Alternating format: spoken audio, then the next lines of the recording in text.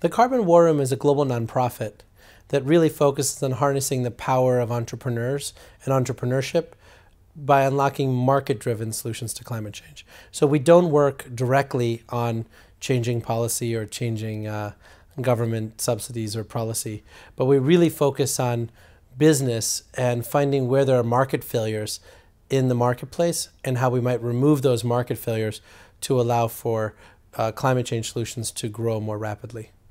How does it want to realize its objectives?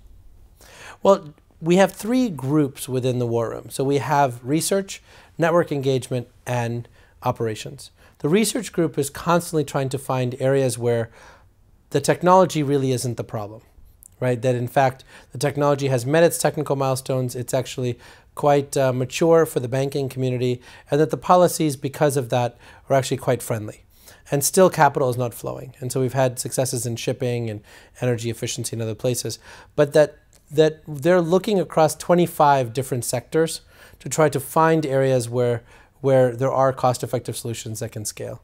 The network engagement group then goes uh, one step further and tries to find the 25 fearless change makers that are really trying to make a difference in that area globally and so we can figure out what support we might be able to give them specifically to really supercharge their efforts.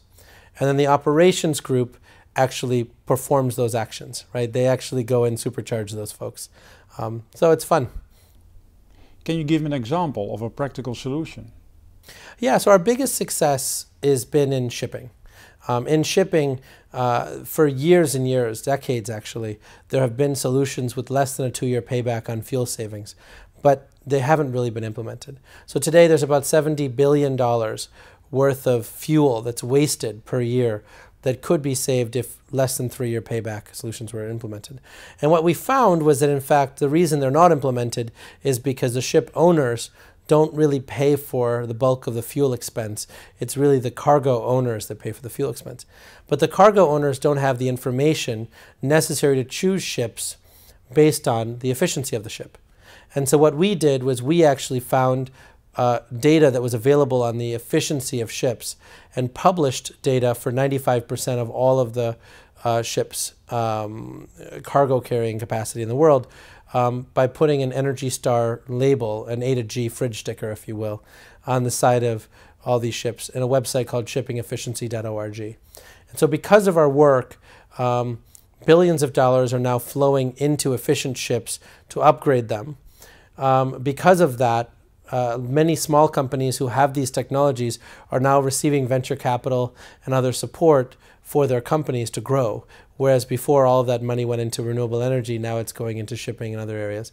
And ports and others are feeling far more confident about their ability to regulate the ship owners um, because now they have the data. They know which ships are efficient and which are not efficient, so they can provide uh, subsidies to people that are efficient, for instance.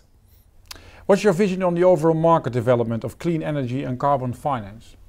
So I think if you talk to Bloomberg New Energy Finance and the World Economic Forum, they've done a paper showing that roughly $550 billion a year needs to be shifted from bad investments to good investments, right? Now that number might be wrong, maybe it's 650 or 750, but it's within that realm. Last year, those same uh, Bloomberg New Energy Finance said that roughly 200 to 250 billion went into good stuff, right? And so we're approaching halfway to the goal, right? And most of that, I would say, is clean energy, like clean electricity.